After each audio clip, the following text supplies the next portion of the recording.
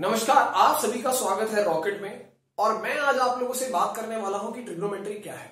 आप लोगों ने आज तक बहुत सारे जुगाड़ सीखे हैं ट्रिग्नोमेट्री को याद करने के। जैसे कि वो कुछ होता है, पंडित बिहारी समथिंग करके, या ओहा होवा, मुझे पता नहीं है सब क्या है बट बच्चे इस चीज़ को कैरी ऑन करते हैं, इस चीज़ को याद रखते हैं ऐसे जुगाड़, ताकि वो sine theta cos theta tan theta वगैरह वगैरह रेशियोज के फॉर्मूले याद कर सके।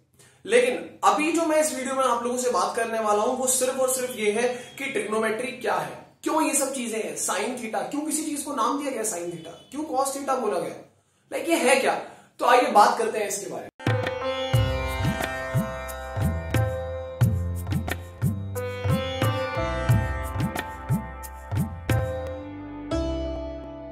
सपोज़ कीजिए कि हमें ग्राउंड फ्लोर से फ़र्स्ट फ्लोर पे जाना था।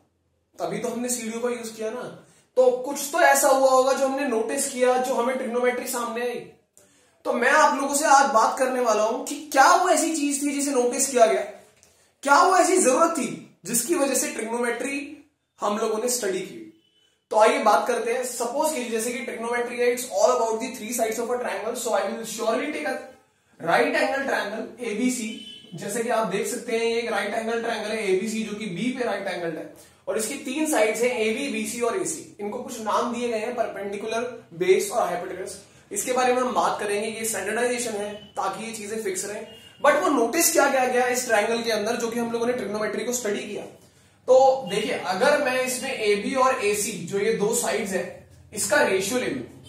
अभी सरप्राइजिंग बात ये थी कि अगर मैं इस साइड को एक्सटेंड कर दूँ और इस साइड को एक्सटेंड कर दूँ, इसको नाम दू ए डैश और इसको नाम दू सी डैश और इसको कनेक्ट करूँ तो जो ratio A dash B upon में ए डैश सी डैश का आएगा, ये इक्वल आएगा।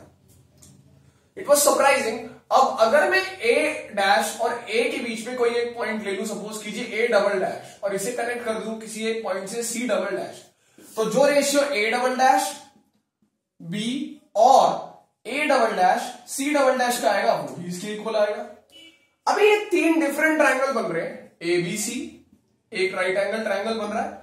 एक राइट एंगल ट्रायंगल बन रहा है A double dash B C double dash और एक राइट एंगल ट्रायंगल बन रहा है A dash B C dash इन तीनों ट्रायंगल की इन साइड्स का मेज़रमेंट अलग है, उसके बावजूद भी जो इनका रेशियो आ रहा है वो सेम आ रहा है। तो कुछ तो लॉजिक था। और वो लॉजिक ये था कि अगर आप ध्यान से देखें तो जो ये एंगल है, ये यहाँ भी सेम है, यहाँ भी सेम है, और यहाँ भी सेम है।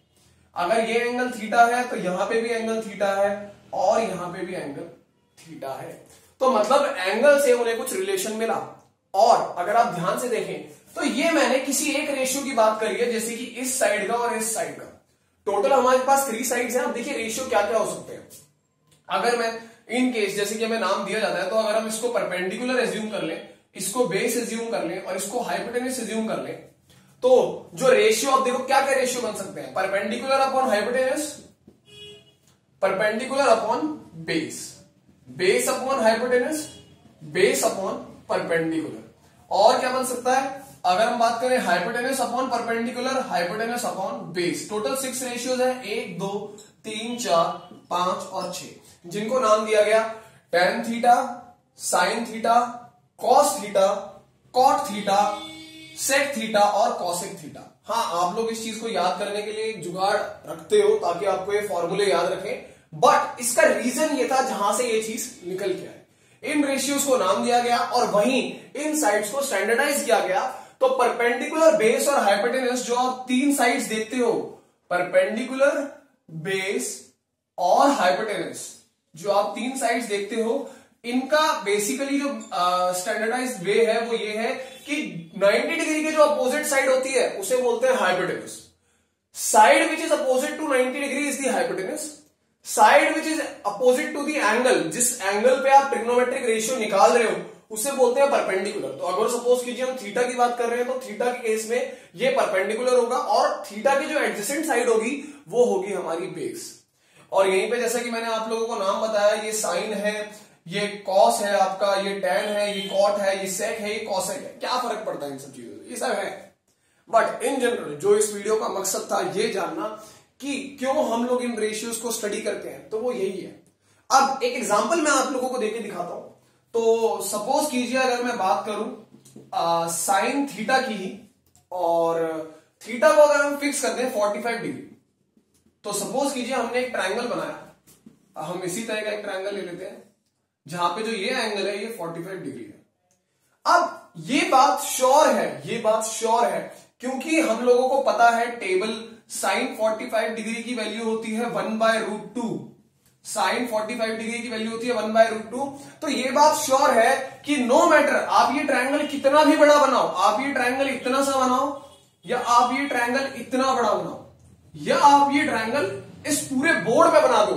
अगर आप इस एंगल को 45 रखोगे तो जो साइड इसके अपोजिट है, जिसे मैं परपेंडिकुलर बोलूँगा और जो साइड 90 डिग्री के अपोजिट होगी, जिसे मैं हाइपोटेनस बोलूँगा, इस P बाय एच का जो रेशियो आएगा, ये surely one by root two आएगा, क्योंकि इसी चीज़ को साइन थीटा बोला जाता है, और हमारे इस केस के अंदर थीटा की वैल्यू है 45 डिग्री जिसके ऊपर साइन आता है वन बाय रूट टू तो ये फ़ायदा है ट्रिग्नोमेट्री का। मतलब हम एक राइट एंगल ट्रायंगल के साइड्स के रेशियो के बारे में बहुत कुछ प्रिडिक्ट कर सकते हैं, क्योंकि हमने ये देखा कि ये सेम पैटर्न को फॉलो कर। तो ये थी वो चीज़ जिसे नोटिस किया गया जब हम लोगों ने ट्रिग्नोमेट्री की एक फ़ील्ड को बनाया और आज आप लोग इस चीज़ों को स्टडी करते हो। बहुत सारी चीज़ें हैं जो आप लोग जुगाड़ से याद रखते हो, कोई दिक्कत वाली बात नहीं है बट जानना भी ज़रूरी है। तो शुक्रिया ये वीडियो देखने के लिए।